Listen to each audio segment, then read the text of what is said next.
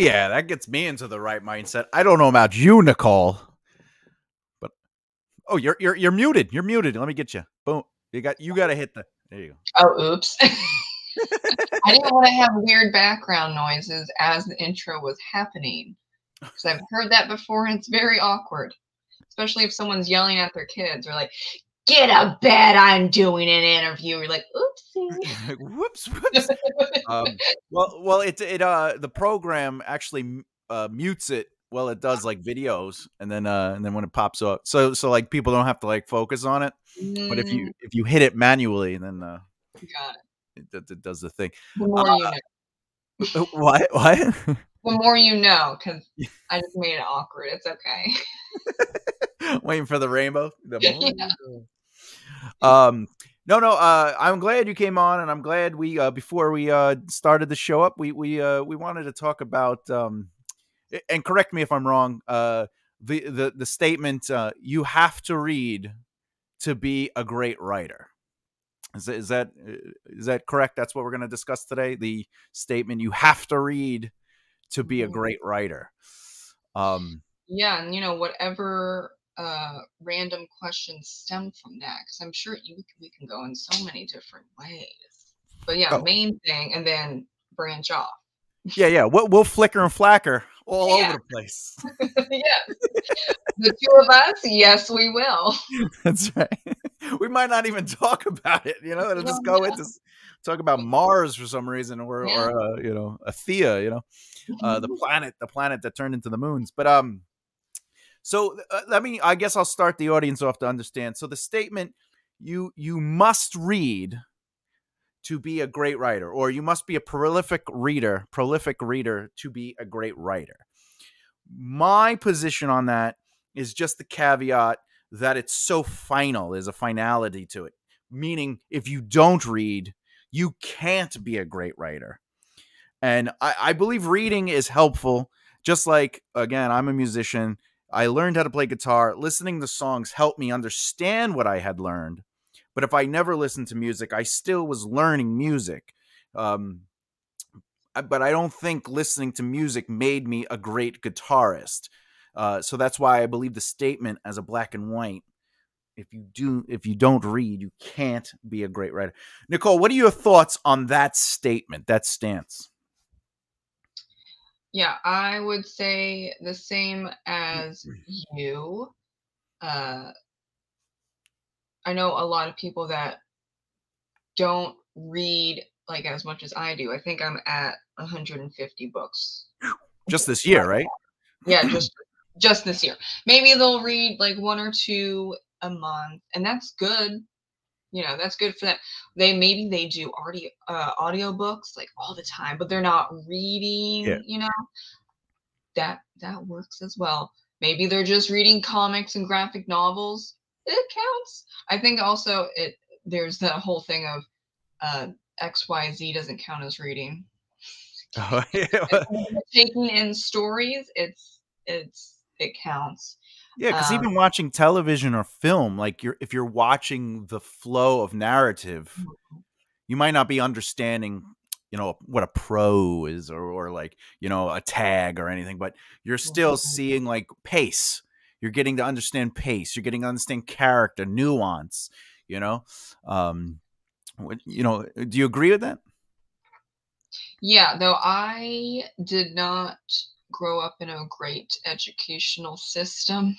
Mhm, So I was not taught what's an adverb, what's a noun, what's an adjective. I I learned that in high school and it still does not stick with me. I have to sometimes look it up. Yeah. Because it was supposed to be taught in elementary school. It was taught to me in high school. I think like junior year, like it was it's not not a good look. Okay. Yeah, so I have gaps and I I finally got used to grammar and punctuation in high school and then I went into community college and I had to do like I don't know what it's called like not even 101 it it was under 101 Oh which yeah, was yeah, really annoying to me because writer. Yeah. really? We're gonna do this okay great. But it was because I did not know the rules of punctuation and grammar, and I just flunked that uh, test that you do, or at least I did, to see where you were in, at community college, as well Yeah. as like my GPA was like 3.3. Okay, that's amazing considering not great education system. Yeah, yeah. I was chugging along, but Well, all I- great writers have great editors. So, you know, no, so then I get into the lower level of uh that that English class and I write, you know, the essays and stuff and the professor was like you're a great writer. You just don't know the rules. And you you can fix that. That's not a problem. I'll help you. And Yeah. so now I know and then I actually write really clean and my editor do- is not really fixing th- that type of problem but yeah like you said an editor is great also i learned at least enough from just reading that i unconsciously do a lot of things and i at least knew how to set up dialogue and the tags Yep. and the flow of like how big a paragraph should be versus maybe this one line just needs to be a line and then then the paragraph afterwards can be a little longer and like it's like a flow and what do you want to punctuate i was Yeah. doing a little too much uh, with the commas well, yeah. Also, like, you too know, much with those well, yeah, like if you're writing like an Yeah. if you're writing an essay, they usually say, you know, a paragraph is true to form at four to five sentences, right? But like with with a with a with writing a novel, one word could be a paragraph, and Yeah. it, it, you know it comes down to really, you know, how you move the breathing, you know, that boom boom boom boom, and like you know, a word, several words, or even one pro having uh several different lengths of uh, of sentences within it and again that that probably comes to somebody who- reads of course because they're seeing the familiarity of it they're seeing it Yeah. in motion you know um but you know an argument i i always throw out there is like when i was learning guitar my teacher always said the same thing over and over. If you're if you're practicing the mistakes you're learning nothing. So you have to stop when you're off the beat and you have to stop when you mess up the notes and start over. So if again, if I was just reading, I'm only learning the mistakes of what my mind believes are the things I should be learning. Just as if I only if I only learned how to write, I might not necessarily be learning how to write just by, you know, like so there has to be a nice mixture of of taking in story as well as learning the process. Not not necessarily like I don't think musicians need to learn theory even though like I went deep into it cuz I was in jazz class when I started but but I don't think writers like as you're saying, you know, like you have to learn the the super depth of it. No, like you have an understanding of story. So that like that's a great foundation to play with, you know? Uh, uh but like reading allows you to take that foundation and ultimately go, "All right, I see it in practice." Right? But that's my argument also is like you could do that by watching a movie, you could do it by hearing a story told. You know, like there are other ways or even audiobooks. Like I don't think you need to read if you're listening to audiobooks because you're hearing you're hearing writing and practice. And I think that's important to absorb life as well. So if you're absorbing life through the audiobooks, if you're reading, whatever your method is, I think that's important. But like when someone's like, "Oh, you don't read?" Oh, well then how can you be a great writer? Like I feel like what are you doing to other writers that have trouble reading consistently? Like you're Yeah. basically telling them to give up. And like I think that that doesn't uh um, and you know me, I like in the community like I'm all about like just write even if it's crap. Start Yeah. somewhere. you know like don't deter people be oh you oh you don't you didn't read 50 books this month you're not you're never going to understand writing there well also uh what do you mean by great Right. exactly do people like it it's good Yeah. uh well like do the majority of people like it yeah um and then also if not then mm, two ways you go about it. You, di- or I think actually multiple ways. You put too much in there. Like when you have like a like a five genre book that's like 900 pages. I don't know about that. okay. Um, or um, maybe you do need a lot of work, but it, you can do it if you want to. Or like you marketed it to the wrong people, you know? Mhm, So there's different types of if it's not working out for you, there are options that you can explore at least. And um, but I also think that you have to pay attention. And that's what's something that I'm seeing where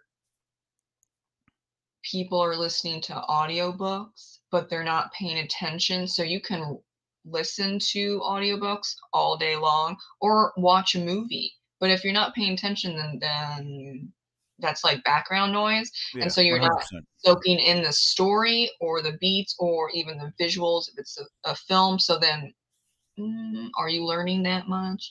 I would say possibly not. Even if you have ADD or ADHD, I still have to pay attention to things to have them stick in my brain. I can like do multiple things, but if it needs to truly stick in there and stay for a long time instead of a short memory type of thing, then I'm gonna pay attention.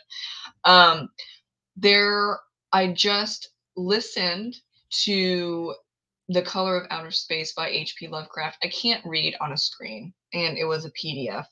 um, I was just like, no, I can't. I, it was, and the writing was like, oh my God, I don't, I can't do this. so it was like an hour and a half uh, audio on like a, a horror um, YouTube channel that reads either submissions or like really old stuff. So you're not Oh, going to get cool. copyright. Yeah. And it was very pretty. I don't know if I could have read that. That prose is Like it was purpley. It was very purpley. oh yeah. but the the the man's voice fantastic. I got Yeah. the vibe. I got the cosmic horror. It doesn't scare me. Cosmic horror is not creepy to me. It was just it was an interesting ride. Did he And- sound like Vincent Price? No, like a deeper, like a gravelly. oh, Voice. yes, more like this.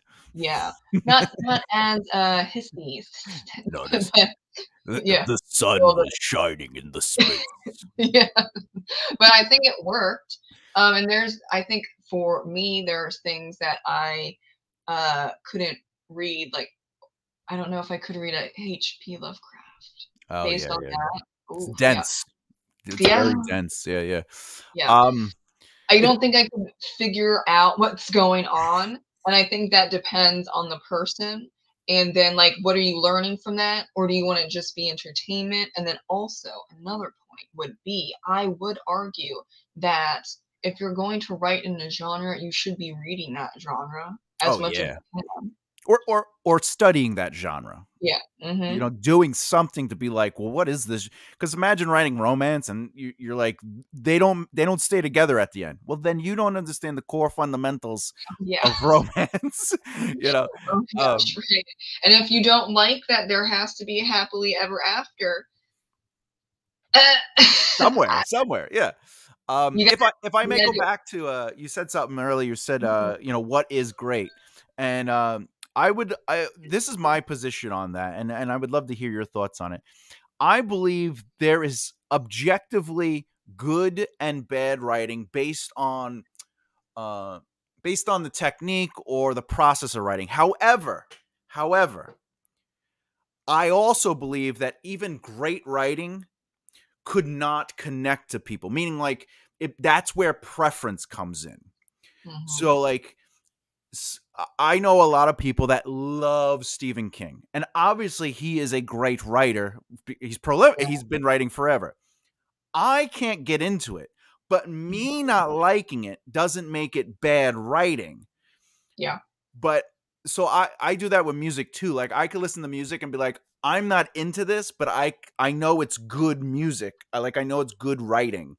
Yeah. So I I believe there's objectively good and bad writing based on the foundation of structure and the but that doesn't great writing doesn't make it good. You know what I'm Mhm. saying? Like the experience for someone is always going to be subjective. Yeah. No, yeah. no, you know, because there are people that say Tolkien is boring and bad, and you can't say they're wrong because that's their subjective truth. Yeah. You know, but you and I read it and we go, "This is objectively good." It probably wouldn't be published today as it was. Like if he was a writer today, they would be like, "Clean it Clean up." it up a little bit. Yeah. Yeah. Oh yeah. but he defined the genre you know Mhm. so uh, what what are your thoughts on that idea where there is objectively good and bad writing based on the foundation and process of writing however something that would be considered great writing doesn't make it necessarily good Yeah, I'll have to say that I haven't I don't read a lot of self-published books and I know there are probably some that have like no edits, right? But then like you don't really see them get popular. Maybe Yeah. they'll have like one or two reviews, but it's it's kind of like they're like the book cover's not there. You read the sample and it's like, whoa. Yep. And then you see like not necessarily the title, but maybe the title is like this is supposed to be fantasy, but it sounds Christian romance. or what are we Crap. Yeah. new christianity? Yeah. And then like the the categories are weird. Like that's more like I don't know what's going on here. hmm could it be that like if everything got it together like it could be good? Maybe. I have no idea but i'm i'm personally not going to buy or take a chance on something where like the in the read sample which is about i think maybe they changed it but it was Yeah. at least the first chapter if not two or three depending how long the chapters are right? But let's say 10% if there are so many typos and formatting issues, eh, I'm gonna skip it.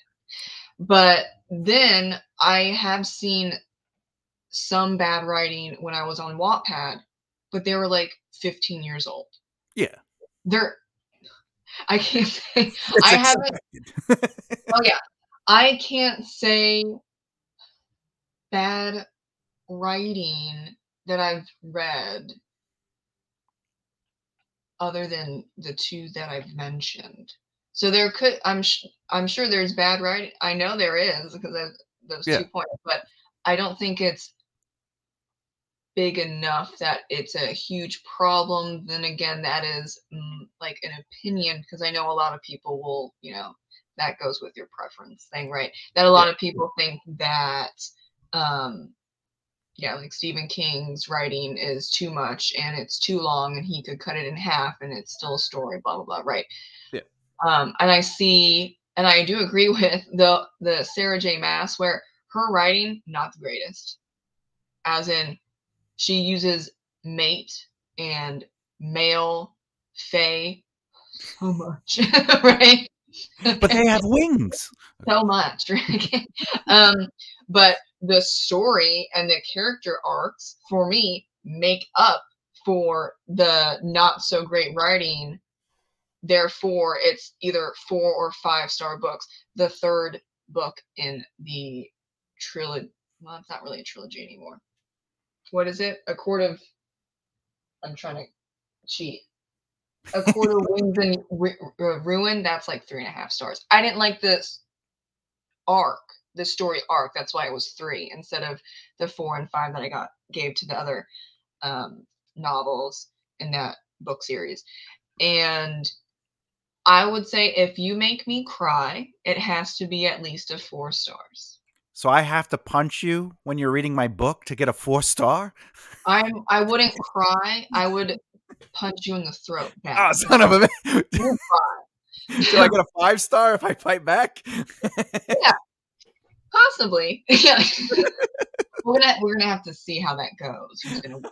But um I think that if you can bring up emotion, it doesn't particularly matter if the writing is not up to par to what I love. Yeah. Like, for example, Demon Copperhead by Barbara Kingsolver. I'm already in. great book, great writing, great storytelling. That's a that's a perfect for me. Now I've seen other people are like, "Ooh, it's a uh, redneck uh, David Copperfield. This is stupid," and I'm like, it's I. "It's it's it's more than that." But okay, I respect your opinion. like, so, and I'm like, is he really a redneck when he's like triracial? And I don't, I don't. Okay, Whew, okay, I'm gonna calm down. And okay, I saw that uh, quite a few times on Goodreads, and I'm That's funny. at a that's objective. They thought it was not good. Yep. But I think it's fantastic of all the things. So yeah, I can see that uh, structure that you pointed out. Definitely agree with it. Um, I I can't think even like the the one or two star books that I've read. It's not the writing. Um, yeah, it's like the choices made of storytelling and well, the thing with classics, I can't really do it with the classics because There's the- a style. Yeah. it's so blocky. And where are the periods? And why why is this paragraph on two pages? Where's the break? I need a break. That was Dracula. That was Dracula. Oh my god. Oh, oh, well, that's Because- that's also written in a very unfamiliar format, like because it's an inter, Yeah. it's a diary. So, um, Well, then they also he also included um, dialogue within the diary, yeah, and I'm like, you have a fantastic memory. yeah. He's like, uh, Yeah. yeah, no, I, I, I, I agree what you're saying, and it's like, um, but you know, like if you've ever watched the the, the movie The Room, right, with uh Tom, uh, whatever, uh, Wozniak or whatever, like it's it's just it's objectively a bad movie. Like everything that makes a movie great is not there.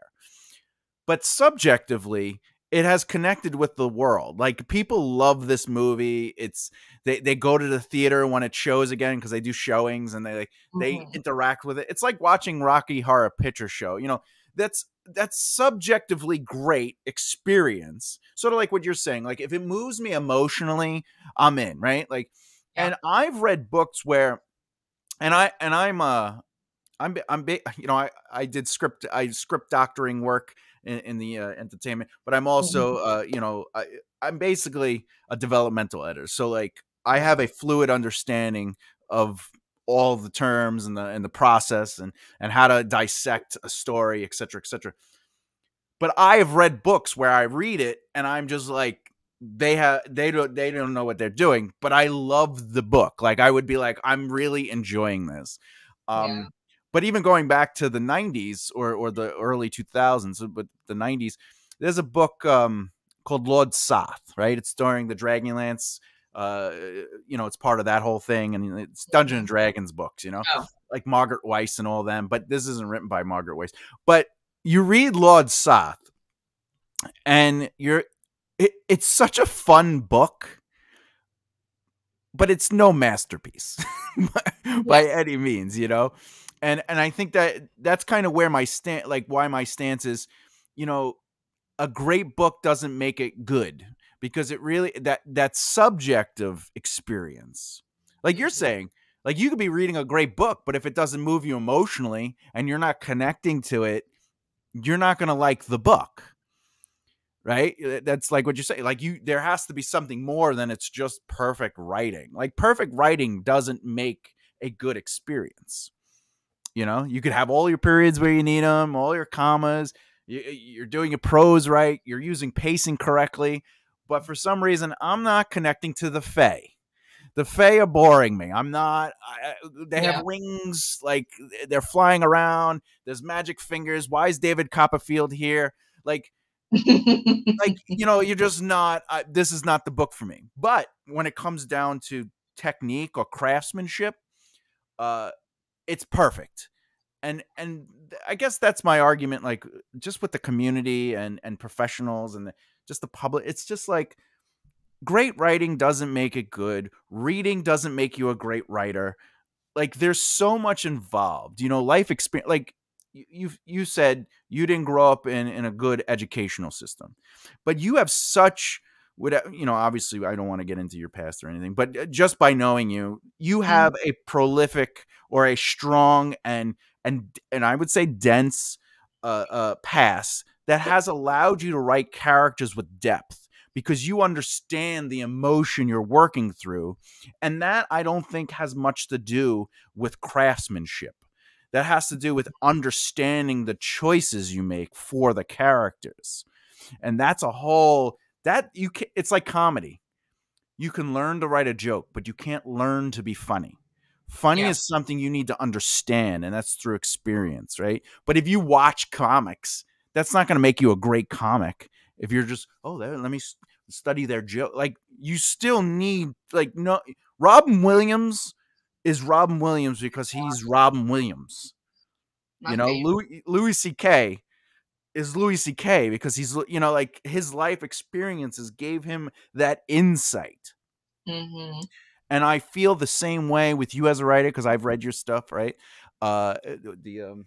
Oh wait, you have? Yeah. That's new to me. well, I know you're a uh, self-published author, but I support my friends. Oh, uh, yeah, thank you. I, I, hope you read my book when it comes out. All right. Um, that's good. Uh, my, I feel like your yours is epic fantasy. It's going to take a long time, but almost. Uh, yeah, email email me when it comes out in like ten years. Yeah, yeah. well, actually, uh, the way the way I write because I I come from television and film, mm-hmm. I uh I outline. That's the longest part is like uh, I put yeah. a lot of time in outlining because you know I, I, deal with people that need to see it so they can be like changes, add that, change the pace of this. So I just became very attuned to that. Like I really I didn't start out that way. I was like, I'm a pantser and I'm just gonna write. and uh someone was like, Well, I need to see the plot just so I understand the beats are there. And I was like, all right, right. And I was like, this is the greatest thing ever. Uh, but that's my style. I don't think everyone needs to do it. Um, yeah. So I spend a lot of detail, and I'm sure if you've ever watched any of my outlining videos that I did live, like I'm very detailed. But then writing is like that because the prose and imagery, immersion, like that part is easy to me if I don't have to think. Like if I don't have to sit there and go, why are they doing that? Because it's already mm-hmm. there in the in the in the outline for me because I do such deep outlining where I'm just like, well, I know what needs to happen, why it needs to happen. I know who these characters are, I know their voices. So now I could just play with words. And um, I do about uh, I do three thousand words a day when I'm writing, and I do twenty one thousand words a week, mm. and that's in an hour and a half to two hours of time because I just I give myself focus time when I'm in the writing, not the outlining. Outlining is a lot slower, but once I'm writing, I'm very very fast and I'm very very clean because I'm not I don't have to think about the skeleton because mm-hmm. I just look at the plot point and I go I got to write to that moment. I'm in the moment. All right, now I got to write out of the moment. Now I got to write to the next moment. So it's like you know, it's uh, uh um, but yeah, it might still take ten years, but it's just still it's epic. It's epic. Well, it's twelve books. So, but oh, uh, yeah, yeah. The first book's almost there though. Well, I'm doing the bare bones writing method now. The bare I'm bones. Doing, yeah, I'm doing the skeleton. What is needed is yeah. the skeleton, and then for the first draft, and then I add on, you know, the meat, which is totally metal, but uh, because I was not, I was stuck in the middle with Murderous Fairies, and which is the second book in the Midnight Detective Agency. And mm-hmm. I forget who uh, told me it. Shout out to you, stranger. I don't remember who that was. And it was probably in passing on like a live stream or something. because I, I was talking about it to a few people and they said do the bare bones writing method where you just write the skeleton. You don't look at word count at all and you don't look at how many chapters there are. Just add what you need. And i was like okay. Interesting I like concept and i thought about it. And so then i did it and then i finished the first draft of Murderous Fairies in like two months when I was struggling since like January. January to when did I finish it? I think like a month ago, month and a half. Yeah, long process. It turned out to be 46,000 words. It is what it is. Well, yeah, that's, um, that's your first draft. Like that's like your zero draft ultimately, where you're just kind of discovering the story because you don't outline, you you pants, right? Well, I have to outline the mystery. And I know the beginning. So, like for the third book now, I know uh, that Tessa's parents visited and she's going to come back uh, from dropping them off to the airport and she's gonna go to the coffee coffee shop and hang out and then she's gonna come back and there's gonna be a naked shape shifter in her house that she has to hide because the uh, the shapeshifter is a rare shapeshifter where they can turn into humans.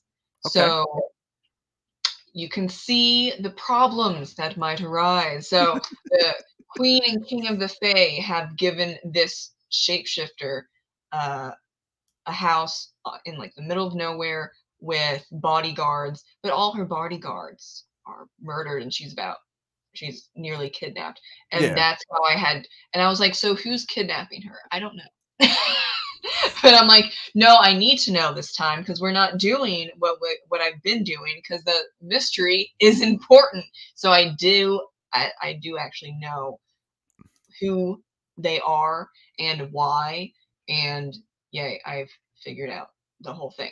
Now i don't outline like you do.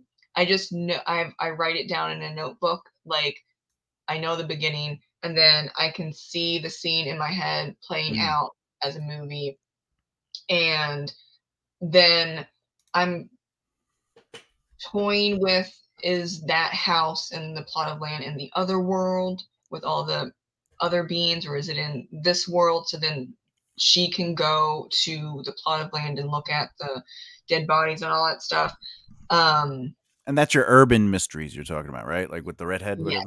Yeah, urban fantasy mysteries. Yeah. yeah, yeah. And so that might that section might be pants. Like I don't know if Tessa well not really Tessa. I don't know if the shapeshifter is going to be in the other world or not, but Tessa can't go into the other world because she's human.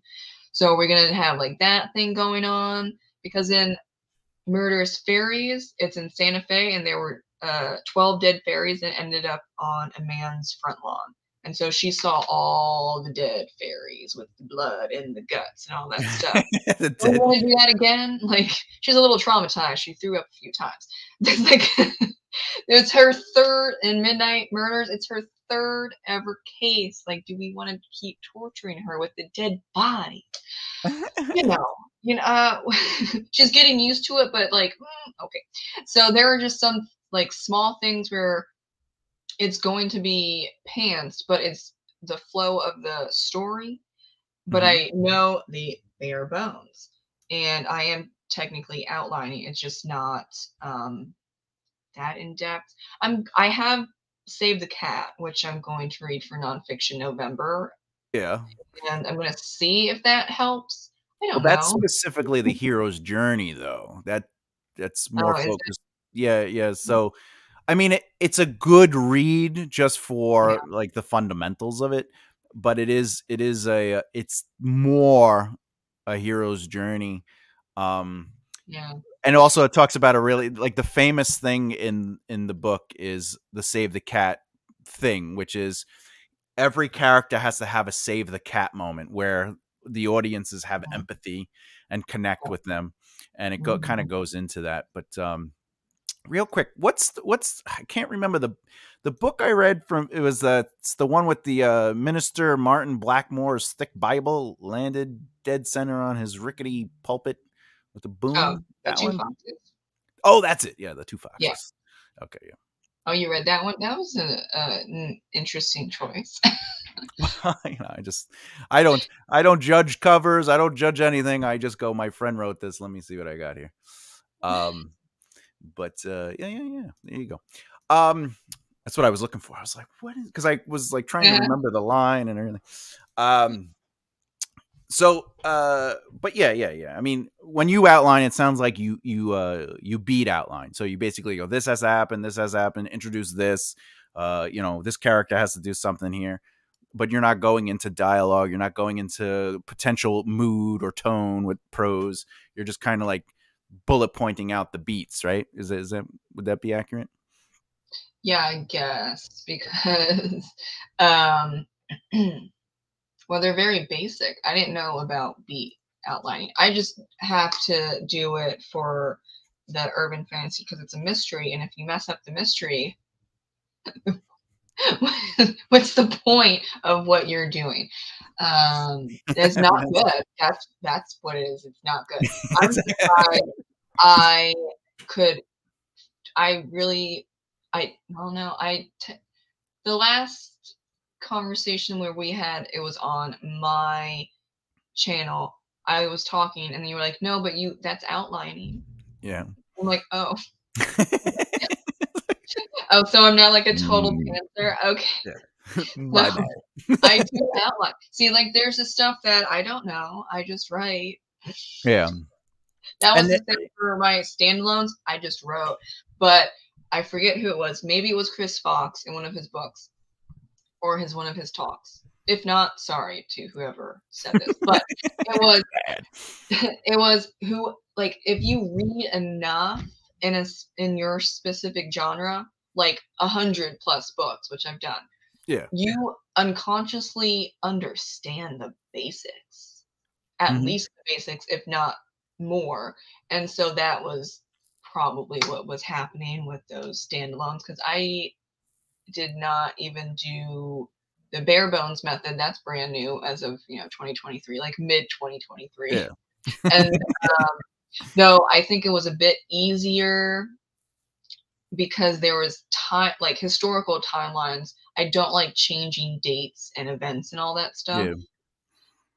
So I just followed the timeline of historical events. Yeah. So it's, is it's the a form- yeah. like kind of sort of like outlining, but not really. And then I just wrote not really around it. I wrote on it, and then you know on the sides is where I make the stuff up Yeah. that make the fictional of historical. and and also the writer aspect is putting it together you know and i might even say that uh you're an outlier when it comes to your because you are you you clearly have a craft uh understanding of the craft in your books um but like to be where you're at uh based on reading i think that makes you an outlier like um but that's not a bad thing also you know and, and that that goes back to the whole reason we started the conversation which is for someone to assume that well if if you must read to become a great writer you know but even still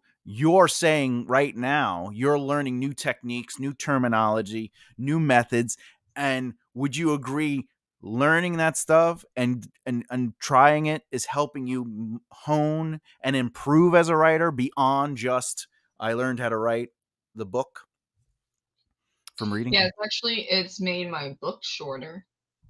Okay, excellent. Uh, but A Patriot's Tale is like eighty nine thousand words. I don't know if you read that one, but like But yeah, some that's a good size. That's a good size. Yeah. That's what And, um, twenty-seven chapters. No, it's like forty seven. I write oh. I write short chapters. Yeah, you write short chapters. Yeah. Yeah. Um, and then uh, Danu's Curse is sixty-eight thousand. Okay, that's like a novella. Yeah, no, novella is under forty thousand words. Is it? Yeah, I'm even with the urban fantasy, they're uh, they're novels. But then uh, to round up. Danu's curse is like sixty-seven thousand words. Okay. But you also have like the the historical stuff, the like a boop boop sprinkle in there, right? But for uh, the urban fantasy, Obsidian Murders is forty-seven thousand words. okay. Okay. Murders Fairies is forty-six. Who knows about the other ones? But like they're all under fifty thousand words, Mhm. and at first I was like, I need to add more words. It's a not little bit, right? if it's not 50,000 or more. And I had to be told a number of times by uh, a few of the, um, they call them the, the ad squad, but I'm part of Bryan Cohen's ad school and they're fantastic.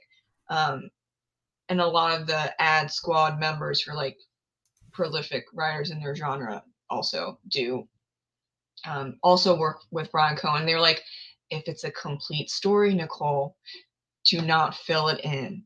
okay. Don't just add random stuff to get to the perfect 50,000. Ask people, ask friends, family members, strangers, whatever. How much do you think this is, this pr- random book? How many words do you think it is? They're not going to get it. Yeah, they're not going to know how many words because you're self-publishing also. So Yeah. And um and that's also what like a lot of the problems with it doesn't matter self-publishing hybrid trad publishing where I will say this book you could have cut out 30 pages because it's filler because Yeah. you wanted it to be there. So I think that with learning more of the craft, and I haven't even read that many craft books, but I think honing in on what I need and want to say and portray has made it shorter. yeah, And I have also gotten um it like I don't know. I think simple is fine. yeah. I like simple, but some people are like, "That's not a good thing, Nicole." I'm like, "I think it's good." I need more immersion. yeah. Well, I'm like, so do you want purple prose? You want flowery language? I don't like that, so I write simply, simply as in like the paragraphs are not two pages long, okay? Or You're not Like- Anne Rice. yeah, okay, A DNF'd Queen of the Damned. I couldn't do it. I can't do. I can't read it. I can't write it. That's not for me. But you, know, I I bow Which is down subjective, to Anne right? Rice. Yeah. I bow down to Anne Rice. Fantastic. I just can't read that. Yeah, she she's again. That's another dense. Yes. It yeah. should take eight pages from the walk through a door. You know. Yeah, I can't do that. Um, so I guess it would be dense versus simple. I would be on the simple yeah. Spectrum. I don't see that as a problem. Um, I like to get to the point. don't uh, take eight pages to walk through the door. like I have things to do. TikTok.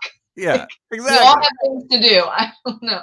Uh, Well, I, you know, I'll tell clients like when they do, like you're reading like deep purple prose or like they're just go and they think that's immersion and you go the strongest immersion you can create is when what you write moves the narrative forward. And that could be moved either with plot, character or world building.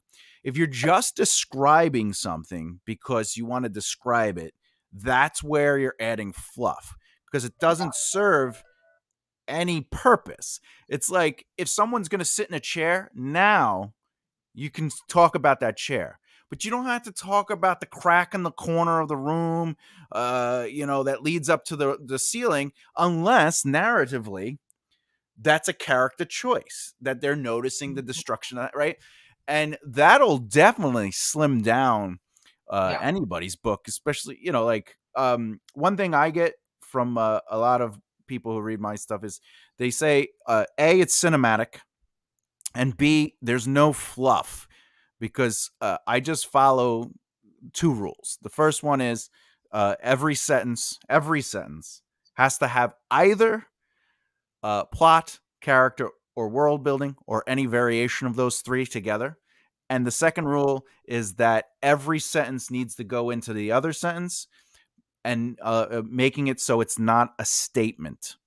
You know, like uh, like if you read a, a a pro and it goes, they sat on the couch, they looked over to the window, they notice their friend enter. Like those are statements, and Mhm. technically to fix that you either make them flow into each other or you make it its own pro and you give some time to it you know uh, it, and um, that helps me keep a stream even though i'm writing epic fantasy there's still a streamline to it where i don't i don't spend 20 days on someone's armor you know like the inlays of the armor and then eight pages later you're like is there anyone else in the scene yeah, yeah, I tried uh, mm, uh Game Oh. of Thrones. oh yeah, yeah. No, that's no. did you think read the first forget- book game of thrones yeah, I'm like, no, it's because it's just too much. Also, I don't like the different point of views. When you get past Oh, I see. two, I'm like, why? Why is this a choice?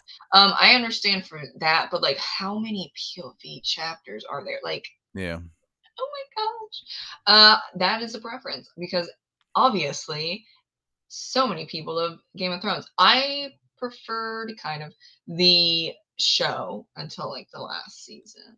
Mhm, Okay. mhm. Um, I'm sure everyone. Uh, I actually haven't seen someone that was that said the last season was great. so I think that we're all on agreement with there, right? So I, so it does happen sometimes where it's like that was a choice. Yes, they. didn't make that choice. Well, the head writers left, so they had no other choice other than people Oh. going, "I know what to do.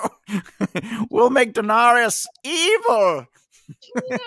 Uh, She has the kingdom, but she's like, the hell with it." They wait. They they they they gave up. They, they surrendered. Burn it all. yeah. No, you know what? Yeah, You know? no. there are some like there are some choices where it's like why, and then you just forget about that last season or that last book or second to last book, and then just skip to the you know actual last book, which I've heard um for this one urban fantasy traditionally published really long series where people like yeah okay read the first book and then skip the second and third but then you can go to the fourth one and the fifth one then go back to the uh, the third and Yeah. then you read the second i'm like no reading that. Yeah, right. No. how about they all work and if not then something needs to be done something should have been done because this Yeah. is like a 20 book series and it keeps going i'm like does it need to keep going if like a lot of people are saying skip this skip this okay go back to then, then it would make sense and then this doesn't make sense so go like to book nine i don't know So there gotta read book seventeen before you read book one.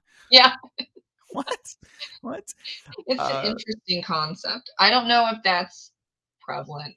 I, that's the only time people, multiple people, not just one, multiple people have said, okay, do this, and then you'll like it. Like, I don't think so. like, I'm not gonna do any of it. Um, well, your urban books, do you write them uh, primarily in first person? yes, they're first person, and the standalones are third. Yeah, yeah, third Uh, limited. Yeah. And um I have a female gladiator historical fiction in mind and I think that's going to be in first person because the when I had that idea anyway, it was in I. Yeah. So I'm like, well, I'm not going to change it to make it, you know, third person if the idea the dream was in first person. You're not gonna make it second person. No, it's just the main person. You enter the room as you stare around. Have you ever read books like that? It's crazy. I don't like second person. It Yeah, makes me dizzy. Uh, Um, I, I- I actually want to ask you a question though about uh, Uh-huh. POVs. Uh, when you write third person limited, do you still allow yourself to uh, partake in uh, other characters that are there? Since you are in that third person view, you're you're you're out, but you're close to everybody, you know. do you allow yourself to uh not necessarily head hop because that head hopping just for anyone that doesn't know the term it's when you're jumping povs of characters Mm-hmm. within a passage. However you can jump from one character to another if you create a transition a soft chapter break a hard chapter break a chapter or in prose as long as the prose lead to the transition. Uh but anyway do you find yourself in third person limited giving some time to other characters within a chapter? Uh, no, it's just through the main character, but she, it's all through the main character. So you do see, um, like emotion in their face or the tone, and I'll point that out. And then it would be like, um, let's say, for example, Sarah and Red Fox. She's seen what he, um, his like his body language and so i'll describe that through her but it's not first person so there's a little bit more explanation and it's not like telling i'm showing. The thing that i actually didn't know was that i was doing third person limited i was just writing. Oh my yeah that's i'm an outlier i mean you should i don't know um if it works for you like if you're similar to me go for it but also do a little craft because yeah, yeah. still got to do a Uh, little craft make a little noise get down tonight. Because you're i have had a lot of people like okay so like what is like you know going into you know this particular chapter? Uh, how did you do this this and that? I'm like i just wrote. I use just my magic fingers. Yeah i had some wine. Um like if you saw the first draft of that But the first draft doesn't matter. I didn't publish it because you think that this uh, chapter is great. However wow. Yeah. uh, Dom Perignon help me write this chapter. that was Danu's curse uh, for the whole of covid but it was because it was covid. I wrote that in six months. What else am i supposed to do right? Yeah. um but for uh actually for the urban fantasy it was originally third person and then i was doing market research which Yeah, i'm sure everyone's like market research. Um because i've got um, and i was uh, looking in the top 50 top 100 of urban fantasy in the read the read sample and they Yeah. were all first person. Correct. I was like because mm, it's also a Oh. mystery. So yes the rule is if it's noir or something of the si- of the like, it has to be first person because Yeah. then the reader is discovering the mystery with the character, yes and uh, third person just it takes you out of it a little bit. Yeah, Um, and then so then I uh went to the ad school, ad school, and I was like, dilemma. And they were like, okay, so do you want to have an uphill battle? They were like, it is your choice, right? Yep. But it is an uphill battle. If you publish it and you have a six book series, it's not like it's a standalone, it's a six book series. Mhm. You're, you've done all this stuff. You like fantastic covers. You got the title and the subtitle, and you nailed the, the categories and summary is great. But it's in third person, and you s- said yourself every single read sample is in first person Yeah, uphill battle because that's what the readers are expecting. And so I was still a little slightly itchy, but I was like, I have an uphill battle with basically everything under my given name. Um, it's an uphill battle for all of those, It's- you like especially the poetry. Like, it's- yeah, I don't do Instagram poetry, so they get reads when they do, which is like whenever, right? But the like, if you want to do marketing yeah. and if you um, want to have like a wider audience and not go so niche like I do with Nicole Pierman, The Pierman. uh, you should consider first person. I'm like, okay. I kept the third person. I haven't even opened that document. I changed it, you know, I changed it all to first person. I'm like, damn, I know why it's in thir- in first person. It's Yep. way more fun. Yep. So it's not like market research. You should be like, you know, freaking out and gagging and having a panic attack because like you're selling out or whatever. There are points Yeah. that make sense Absolutely. you're having a fan i was having a fantastic time being being tessa in first person hanging out with a fatherly ghost named george in her apartment That guy still owes me money. yes he's really old you know maybe you'll you get to talk to him sometime. Or you know the you know discovering that there is a vampiric detective that wears like sunscreen and um, then he can walk out into the sun but you know he's just he has what is that? The um the white that really really um strong sunscreen that a lot Oh, of like uh, nine uh, SP uh, SP five hundred. Yes, like you can put it on the nose a lot of time, or like right Oh, you're, yeah, the black. the Yeah, bla- yeah. walking around like that. You you know, got it. Got it. but it's hilarious. but like that's that's funny. You're you are Tessa and you're discovering the mystery and all that stuff. I get it. I thought that I had to write in third person Mhm. Because the other books were in third person. No, No. it depends, you know, on the the genre. The genre. Yeah, yeah. the historical fiction has switched to first person. So I'm technically not in trend anymore with the, How uh, dare you, Nicole? I know. when I was writing them, it was third person and first person. Yeah. mhm. Now That's how they get you. First person. So Well, it's the same thing with epic Yeah. fantasy, though. You know, you you- like Yeah. Some people will be like, "Oh, your uh, your prologue's a little long," or your your chapters they're like five thousand to six thousand words, and you're like, "Yeah, it's epic high fantasy." yeah. yeah. No, well, and the, there are trends and there are tropes like the trend or and also expectations like if you have an epic fantasy that's 70,000 words. That's not epic is it? No, that's that's the you need to first act, extend that. Yeah you need to extend that.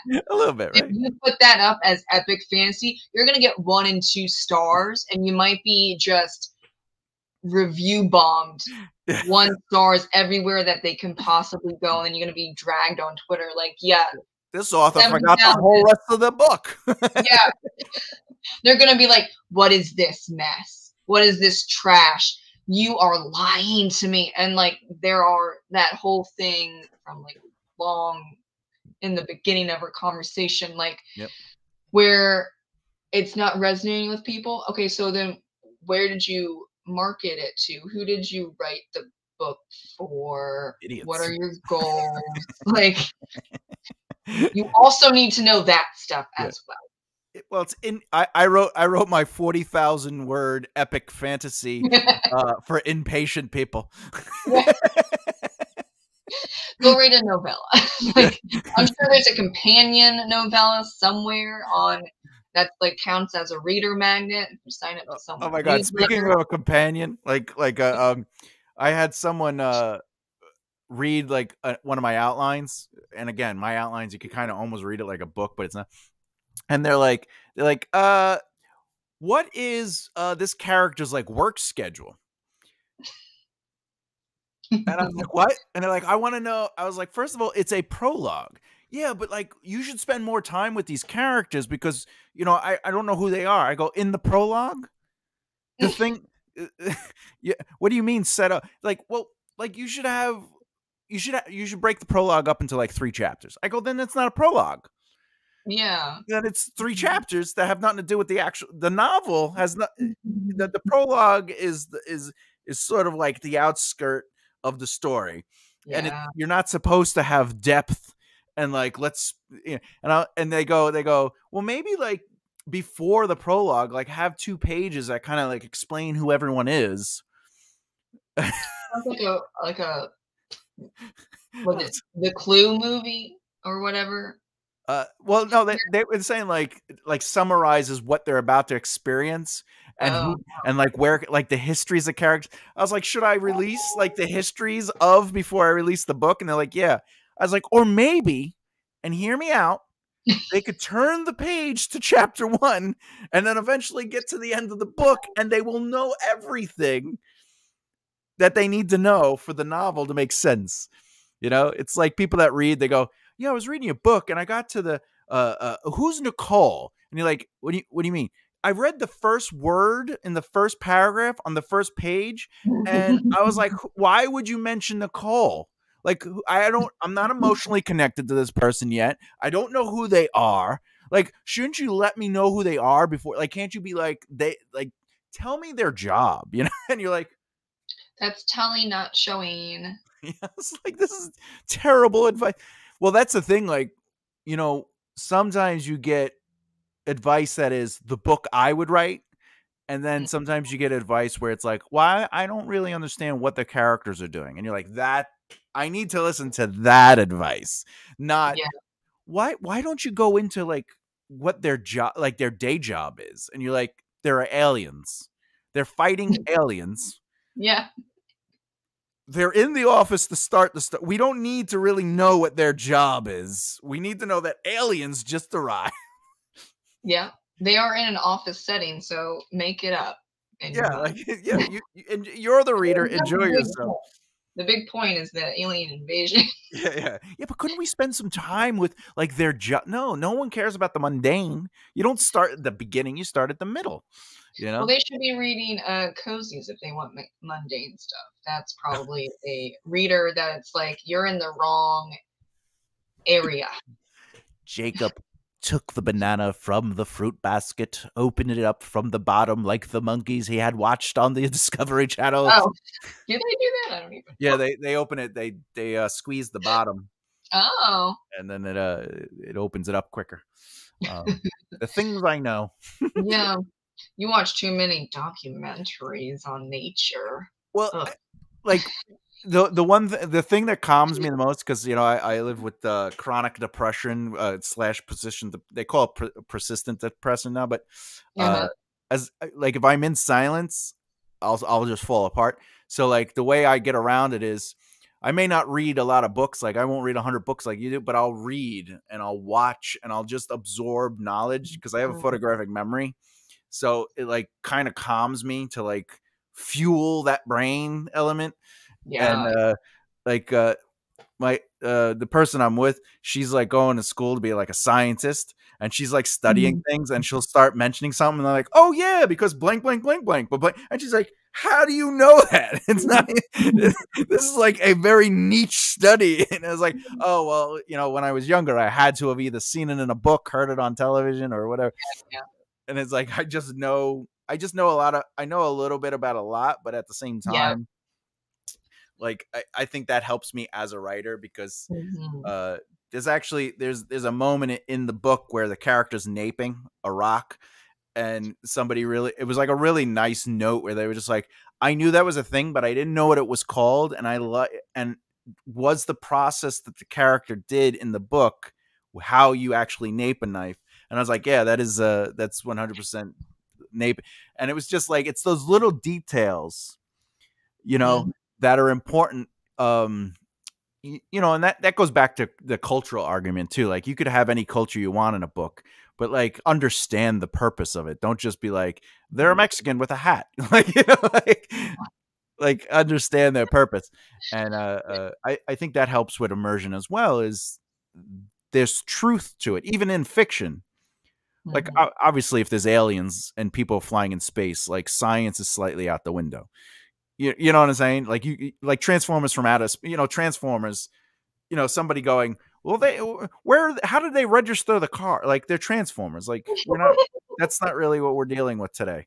You know like or or terminator you know where they they siphoned the gas in the future and and they're like well that gas wouldn't even be useful. They couldn't and they're like it is trans there's terminators like you know there's a they probably have something in their whatever that makes gas work.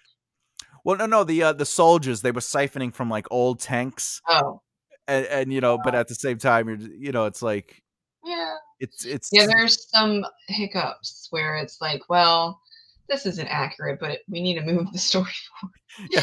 Um, yeah, I think uh, a great book is it's there's a purpose and everything is needed to be in there, and there's realism and believability, yes, and I think that makes way more sense than like a perfectly crafted written novel that doesn't have all of that or any of that or half of it. yeah, and and to your point, uh, it could make sense only to the world that you designed, like Yeah. Like the moment a vampire walks into the scene, your world has established that vampires exist, and your world might have different rules Mhm. than where we know vampires are. And as long as it maintains, because that's all, you know, for anyone listening that's right, you know, like you could do whatever you want. It's your imaginative world. But the moment you set something up, you can't not do that. You, Yeah. you know, It if, has va- to make sense. Yeah, yeah. You can't can't be like my vampires don't drink blood, and then like halfway through your book, you know, uh the vampire's like, I need blood or I'm gonna die, and you're just like, Whoops, I don't know if that's a vampire anyway.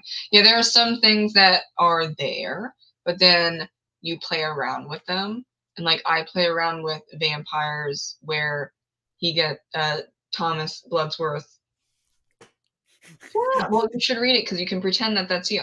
Um, it's on point that they have, or the other world creates magical sunscreen, and it's so freaking expensive because he can walk out in the daylight yeah, and he's itchy and he gets a little red, but he's not dead, right? He's not dead from the being sun. burned alive. And that's I I think also people forget that in Dracula, Dracula walked in daytime. Well, yeah, because he was the So- first, though. That's why he was immune to the sun. The the the the, the, the uh, vampires made from him are inferior. They they're a Yeah. virus, whereas he's the uh, he's patient zero. Uh, yeah. Then but I there were a lot of people like there has never been a vampire that has walked in the sun. It is not. I'm like Dracula. Okay, well I'm just saying, I'm just saying. I'm like What about Okay. Underworld? yeah. right? In the second Underworld, she could walk in the sun, and the third Yeah. one, and the fourth one, and the six thousand one. Yeah. Yeah. Oh, By the way, if you ever watch Underworld, you got to watch the eighth movie first, then the second one. yeah, I think you can play with stuff if it makes sense and you do it well. And of course, well is going to be subjective, but that would be making sense. Like Yeah. I've set up, well, he um pays like fifty thousand dollars for a tube of this really powerful sunscreen. So we have stakes here, fifty thousand dollars uh, for a tube. made of cow cum? Yeah, well, it's magical stuff in there. right, right, right. Very dangerous. Okay, you gotta have that Oh, extra, you know, umph in there. But and then it continues on and it doesn't change. Yeah, You gotta be also consistent. Yeah, consistent with your world building. But um with that one it was I'm basically just taking what I used to believe as a neo-pagan and just slapping the urban fantasy.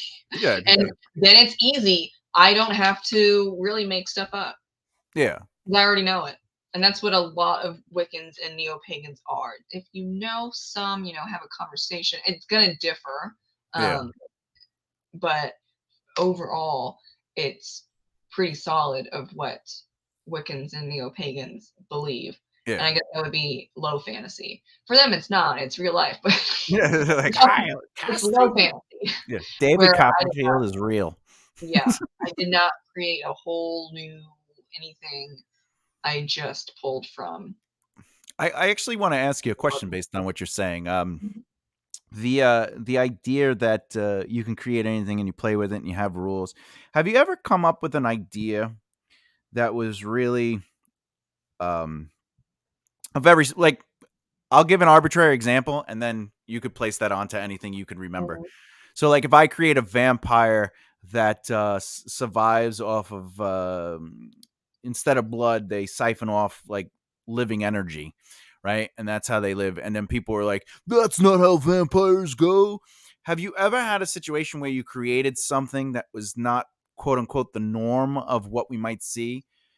And there was just a lot of pressure on everyone around you. Go, you got, you can't do that. You have to change it. But you're like, I really believe in this direction, and then you were like, and then you just did whatever you wanted. Doesn't that make sense, or was that completely? No, I haven't had that pushback ever. Could be that uh, not enough people reading my books, which could be a thing, right?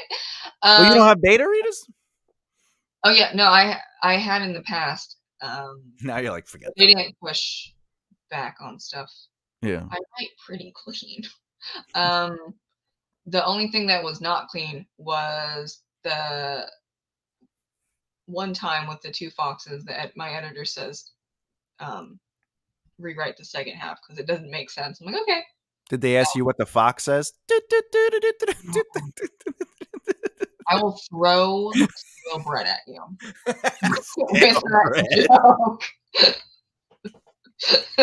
of all things, the stale, not my worst enemy, the stale bread. well, it's aggressive, but not really because it's Yeah. soft. I try not to be too aggressive because I do uh, tend to freak people out sometimes. My aggressiveness. Trust me, that was pretty freaky, but I like it. you know, um, even I think also it's a like like we were talking about has to make sense and they're consistent, whatever. And then it's about uh being confident in your choices. Like, yes, my vampire wears sunscreen. Yeah. What are you gonna do about it? Not read. okay. you don't need to read. You don't need to continue. Yeah. If you want like the classic vampire, this is not for you. But I think it's hilarious. So we're gonna continue. Let's go into the sun. yes. And he wears like, you know, a long trench coat and like a little uh fedora. You just gotta keep it keep As I would, because I'm the character. Yes, I would. and but he's also like a punk rocker Okay. and he wears, you know, band t-shirts that you might not know about, like Tiger Army, love Yeah. Tiger Army, right? And it's just fun, Mhm. but it has to make sense. And then if someone doesn't like it, well, you're gonna ha- you have to be happy with your decision. Like I'm extremely happy with the world because it's not. I didn't even technically create. I created some stuff like you know vampires. sunscreen. Uh, the sunscreen on the vampire created, but the world that I built for the urban fantasy, it's there. I Yeah. love it. I um have very fond memories of growing up in that world, um, thinking that fairies were real and you know I might happen upon one in a forest. Like it's whimsical. Well, fairies wear boots, and you gotta believe me, you know. Uh, Well, and also, you know, if you go uh, to Ireland, they're like, yeah, we put out milk just in case because you don't piss off the fairies. Especially after you have a baby. Yeah, you don't want to piss. Don't piss them off. Don't. Piss. Yeah, you don't want them like, to steal your child. Yeah, and that whole line, "Don't piss off the fairies," is a huge thing in uh neo, like in the neo pagan and Wiccan sphere, where like they have artwork that says "Don't piss off the fairies," and you put them like in the doorway or like in the hallway, and you said, "Don't, don't do it," because your keys are gonna be lost, and Yeah. then I don't know, like you're stuck here. The only, the only fairy I ever had to worry about is my mom's friend. Anyway, uh, so uh, I I want to uh, so um ha- because you've read a lot of books, right? Have have you ever read a book where you were just like, this is the best? Like you were just so you were like, I can't wait to finish this book because it's so good. But then like you get to a point where something is so stupid hmm that you are just like I refuse to finish this book because that is so stupid. That the entire experience that I was having has been tainted by the stupidity that is placed here. Have you ever had that experience? Uh, I don't know. I will start out uh, with so I start out five stars. Yeah. Um, automatically, very optimistic. Yeah, you're like, uh, and then it just goes down from there. But I've started out where it's like five stars, and then five pages in, I'm like, what's this? that, was, um, that was that was Nevernight by Jay Kristoff. Oh yeah, oh yeah, they still owe me money. Uh, that was that was an interesting. So you didn't even finish that book. You were just like, nope. I no, I finished it to say it's bad. but I have that was in like 2017. I've info dumped that yeah. book um because I've I've now replaced it with better books that we can talk about, right? um, but and that's the that's the weird prose where it's very purpley, and some Yeah. people love that, and that is not for me. But you know, subjective. They love that Exactly. thing. I'm like, oh yeah, no, that did, that whole sentence didn't make sense. What were you trying to say? And then like the people that love it are like, okay, well the symbolism, this, and like, Purpley. oh right, I don't think that it is, but subjective art. Okay, moving on. I gotta read another book. We're just moving on.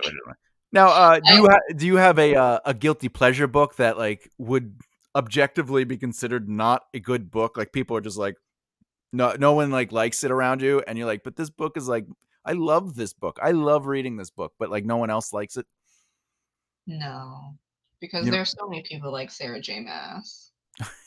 That's. There's a whole uh, so now you see the dandy um fox right oh there. yeah, I see the dandy. That's all Sarah J. Maas.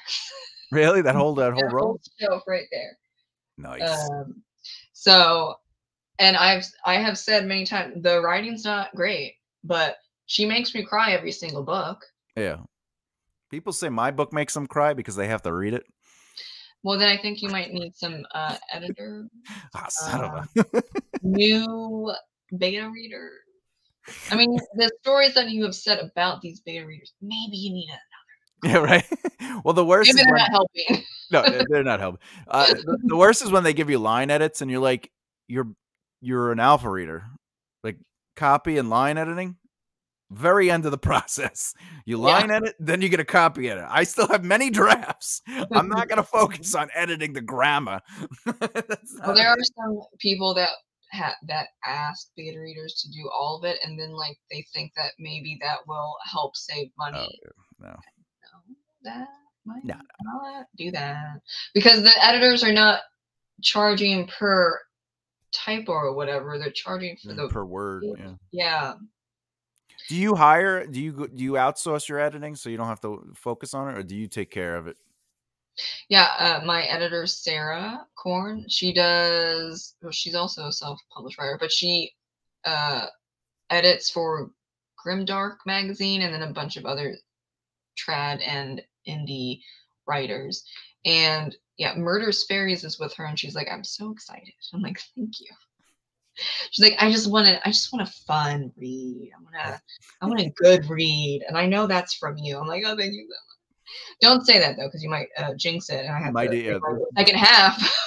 Jane, don't don't don't mess with the fairies. Don't don't yeah, don't, don't do it. don't do- But um, yeah, Has she ever given you a line edit uh, uh critique and you just like, no, I'm gonna keep it how it is. yeah, like twice. Yeah, and that's more like a. Oh, one of them was just. Uh, it's like a. It's like a pagan store thing. Yeah. Right. It's kind of normal. The setup of like a pagan store, which if you don't know what that is, No pun intended. I don't know. Yeah. if you don't know what it is, then uh well, it's just where all pagans go to buy stuff. Like Walmart. yeah, got, yeah, you got your gods and goddesses statues, Yeah. um, some jewelry. mm The Yeah, local like, the local just- crematorium. Yeah, it's just uh what a what a pagan would need, right? Yeah, yeah. And so it's just, that was uh, kind of a thing where I was like, yeah, it's kind of just there. Like, I'm just gonna ignore that one. Yeah. but but um not really all that like I write yeah, she's told me I write.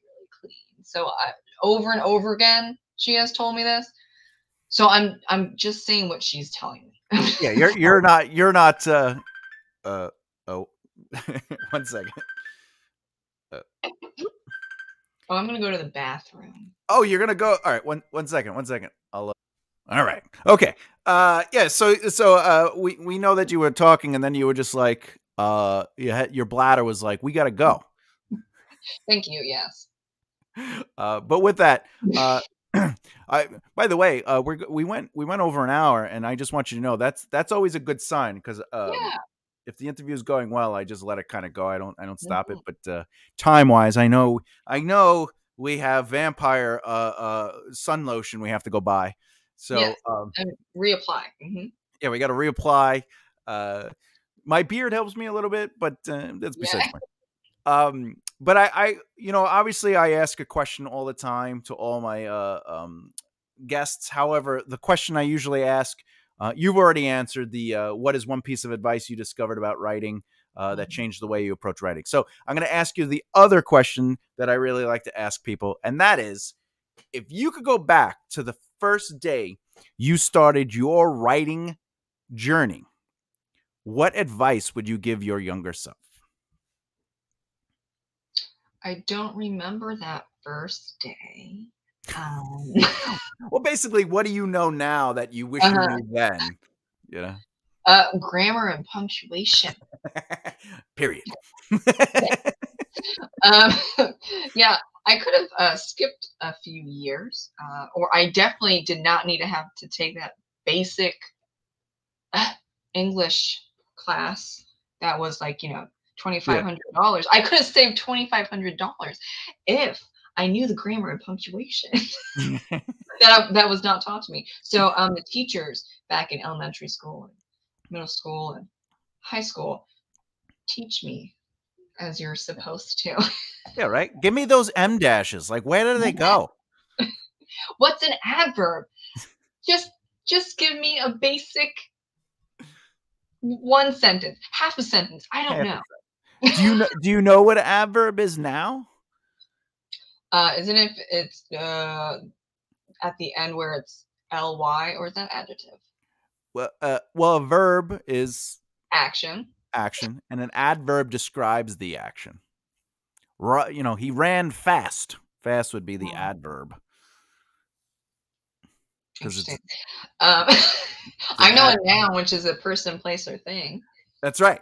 That's right. It is. Okay. a- Oh no, adjectives are the ones with the li, and people like don't do adjectives, which I do sometimes. yeah, b- uh, there, but there are like, um, yeah, but an adjective can describe something as well. Like it could, but uh, but at the same time, there are uh, lack of yeah, yeah, it's like- it's like the ly don't do the adverbs or like Yeah. it that's telling not showing so then it would be show them shocked instead of say oh my god he said Yeah, yeah. shockingly Yeah, well, you know, the the real secret to show sometimes tell is that you still have to tell occasionally for context, but Yeah. showing should be uh, the primary immersion, uh, which also means you can use ly words just you know sparingly, like like I just did. Uh, uh, Yeah. but like when you read a book where it's all showing, you're like, there's no there's no context. yeah You gotta I think gotta. I'm- mm, i've dropped a few lys and then it's like at this point showing everything is not good we need to move on Yeah, like for like action scenes do you need to or do you need me to have like a bunch of other sentences maybe even a paragraph or do you want to get to the action of where you know she's gutting someone yeah, exactly. You know, like right there's we're gonna get to that point like the I point is the more interesting well, you know, the uh, the rule I go by is uh show the narrative movement, tell the skip. You know, like I don't need to show them going through the door. I could just be Yeah. like they left. You know, or Mhm. you know she watched she watched them leave the room in a fuss. Like that's all you need because it's not narratively important. We need Yeah. to stay in the movement of of the Mhm. narrative, and and that's what you show, and that's why you're allowed to tell. Sometimes I think it's it's Mhm. it's almost uh uh what do you call it? I think I think it takes away from the story when you don't use tell. Um, but the same, you know, you and I, we're this, we say we're the same, where it's like, you know, no fluff. But some people are like, well, I need some purple in there. It's like, yes, but use it sparingly. Like six Mhm. paragraphs in a row of purple is not as impactful as like getting to the point through the immersion of action or or movement, you know. And uh, but you also said it too. If you're in a sword fight, you don't have to explain how she she drew the sword and the shink uh, emerged from the sheath of the blade as it raised to the air in a backward swing leading into a lunge. Like you don't have to do that. You just like she drew a sword and ran. But like the interesting part would be the how did the sword enter the person? How you know what is the blood like? You know how, that's the interesting part, not the shink of the blade emerged from the shit the sheath and you know We like like half that. Just do like or whatever you said about the taking out of the um sheath and then the clinking, but then don't do the other stuff. And Yeah. then she's running forward and okay, we hit and now we're fighting. You Yeah. could you just sprinkle, okay, sprinkles on the ice cream. yeah yeah you put You yeah to- little things yeah, you have to. I think you have to write a lot and read a lot and just experience, you know, as much as you can, um, and just do trial and error and figure out what you how or how you work, and then writing gets a little easier. um, I still struggle, and like, how many books do I have? Minus the chapbooks, which are four, um, three standalones two books and then like I'm starting Midnight Murders. Yeah, that's a lot. Um but you also have your poetry prose books right yeah, I mean those are kind of poetry's a little different. those are throwaways that i do on a sunday yeah, it's a little angsty. I would say. but yeah, it took I think well, I just think it's fascinating. I think also my editor said like you're you're uh, decreasing in uh, word count, but it's still great. It Yeah. doesn't, you know, it's. I'm not telling you to add stuff. Like it's a complete story. You don't add stuff to it, um, and that's just how I've gotten over the years. Like really need it, um, but that doesn't mean that I don't love the whole thing. Like I love all that I need. Quote that.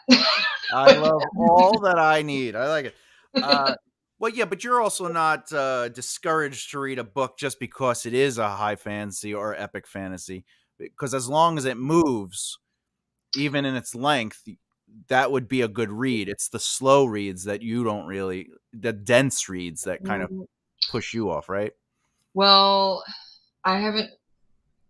When was my last high fantasy? well the, you're reading tolkien Oh, does that count as high fantasy? But like, yeah i mean that's literally epic high fantasy that is that is the godfather of why it even exists when I'm thinking epic fantasy is like 800 pages for one book. Yeah, but how big is Return of the King? You know, how big is Fellowship? My copy like 450. Oh yeah, but you, yours is uh, it's not the six by nine. I mean, uh, it's a six by No, nine, like right? It's the market. Mm, It's uh, it's a box set that a friend sent me. I'm So, like- the size, the size of the book. It's a six by nine. Oh no, it's the like a kind of it's a pocket. Oh, it's a pocket size. It's four hundred. Well, that's still a lot of work. That's Okay. four hundred times uh five hundred. The font is small, yeah, I'm sure. I'm sure but like when I'm looking at, That's two you know, thousand, two hundred thousand words easily. is it really? Okay. It's five hundred words. Yeah, it's I five look hundred at- words. See, this is the word count thing. We don't know. For all we know, it's actually 62,000 words. Now, Well, let, me, let me But- see. Let me see. I have the answer right here. Let's see. but when I, I look at page count, not word count, I think most people do page count, and the Return of the King's like 450, which is fine for me. But then like the last epic fantasy like big one was like 800 pages, and I could not do it. Was that a Brandon Sanderson? No, it was uh Evan Winters. Oh, Evan. Okay, yeah, yeah. Yeah, I'm like, oh god, it's too much. Do you read much." Jordan Roberts? No. The, the, that uh, real time. Yeah. Okay. I had a conversation. I had a conversation about that with my reading uh, group. Yeah. And they were like, because I don't like when you set up a female character and it's all like the growth is just about trauma and revenge. And they were like, well, then maybe you shouldn't read that. you don't want female trauma? Come on. I'm like, do we really have to have all these assaults and that makes her strong? I think you can do more. Now, it's also a thing with um, the Outlander series by Di- Diana Oh, yeah, yeah, yeah. Basically, everyone in that media immediate family has some type of um, SA, Yeah. um, and I'm just like, I don't know if that's possible. And some of them multiple times. Well, both then the lead the characters arc- definitely do. Yeah, no, the and the argument from Outlander fans, and I used to be a huge fan in those Facebook groups. Okay, I know all this, right? When you were young, Nicole. It used to be, well, it's historically accurate. you know what? I don't think so. It still makes it terrible. that the Fraser family Oh, yeah. has so like they keep getting assaulted yeah. over and over and over again. All of them, even the adoptive son. Are we real? That's historically accurate. Stop it. He de- he definitely was. Yeah. When he joined the Ind- the uh right the native uh right then he get No. No, that's another one. The the French, and when they were in France. Oh, oh, I know he the guy who He lost was- his uh, leg or arm or something, right? Yeah, his hand. He lost his hand. That no, guy. I'm saying uh That's the French kid. SA. No, SA. I'm not trying to get you like into trouble. Oh yeah, yeah. But I the French doesn't the French guy have an SA moment? Yes, like Yeah, as a yeah, yeah. kid, Yeah. even him. Frasers, all, all, all of them. SA. I'll tell you, man. When when when Fraser gets captive, and they're like, "I'll let the girl go if you let me do this to you," and I was just like, Yeah. "What is going on here?" Like I would have killed this. There's no way I wouldn't have just choked the hell out of him, right? And then people were like, "Yeah, but he would kill you." I go, "I would rather die." Yeah. I that's a thing like uh, that's not even a we that's a discussion from like um that I had when I was doing self-defense classes. Different conversation of like that it's really um it's heavy where it's like are you going to fight and die or are you going to you know there is a choice here and you should think about it. I'm like I will fight and I will die. It's not happening Yeah, that's my personal choice. There were other people in that self defense class that were like, I can't kill someone. I'm like, I get it. Okay. I'm going, if you're, oh, okay. yeah. Yeah, we're, it's on. Sorry. Like, that's a personal choice. If I don't um, kill and- you, I will yeah. find you and kill you when it's over. Well, and then the whole thing of like, okay, if I am outmatched, then I will do every single thing in my power to get the DNA under my nails uh-huh. like I will just do this until I'm dead and I'm going to then haunt you. Yeah. That's what I'm gonna do. Like, oh, scratch me more. I like it. Oh God. Yeah. Yeah. but like as I'm reading the Outlander things, I'm like, this is too much. That I guess that's also the same thing for Wheel of Time. And I think I see though that's also Game of Thrones. So there are things where I'm just like, is this um like an, a weird thing with epic fantasy and the SA? Well, Outlander is like time travel, historical romance, time. I don't even know. Like whatever. Okay, like five different genres. It's amazing. At this point, it's so freaking popular. because it's definitely historical fiction. Yeah, and it's time travel, and you get a little sci-fi because Yep. they include science in the later books, whatever. Would you almost Um, consider a portal as well? Oh no, because she doesn't technically go through a portal. She just touches the stone. Yeah. Yeah, and then like there's the science of like ge- the genetics of how they can time travel, and I'm like, this is a lot. Okay, Yeah. that's one of the outliers where you're surprised that it's it was first like traditionally published and then got really popular because it's so much within one story and it, it's like what eight or nine books in and like they're chunky like Yeah. the last few books are 800 plus pages why did i keep reading um because i'm deep in it Yeah, it's like True I'm Blood. already there. like we need to figure out how it, this ends because I have spent so much time. Okay, Yeah.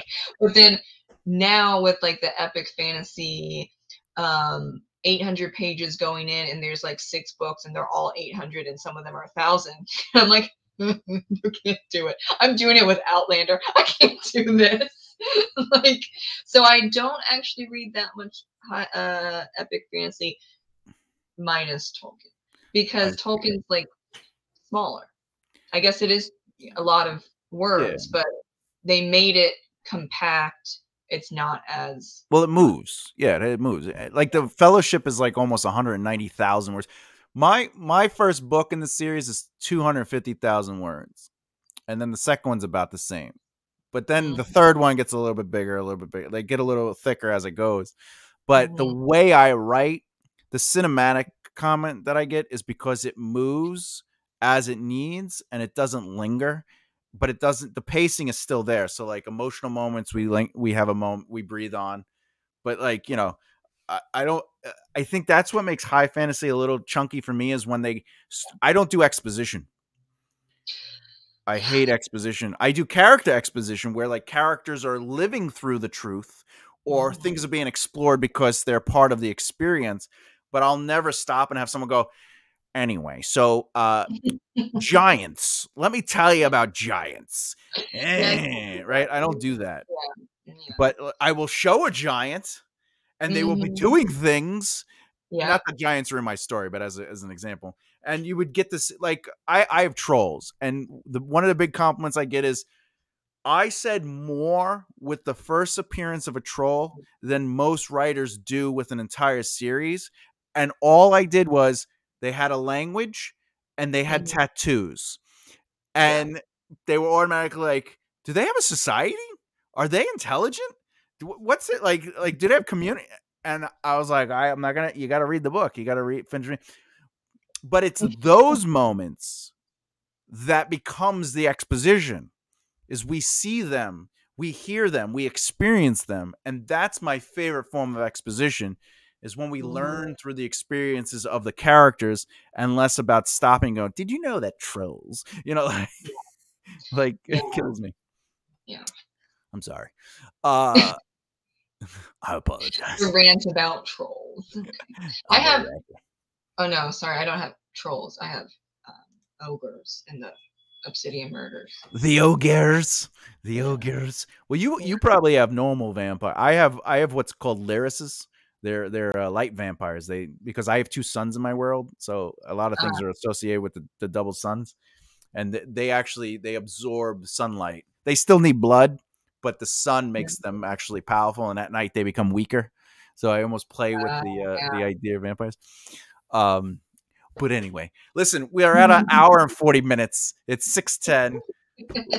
Uh, I love talking to you, so I I- we could do this all day, honestly. Yeah, we'll just keep getting more episodes you Yeah, yeah. You got to catch up to Jonathan. know. oh yeah. All right, uh, Nicole.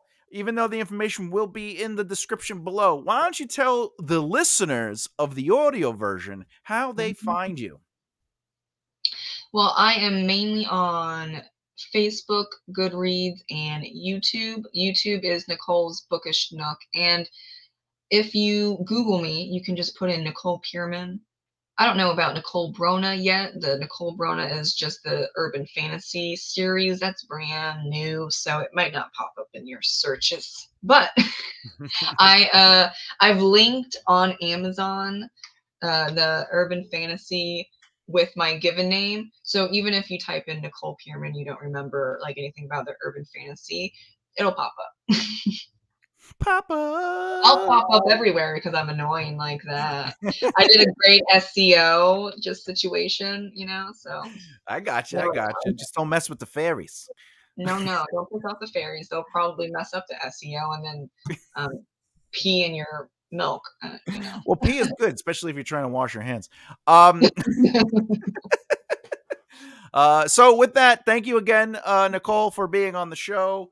Uh, absolutely a pleasure as always. Thank you. All right. As always, keep developing your Write Mindset. I'll see you next time, people. Bye. Bye.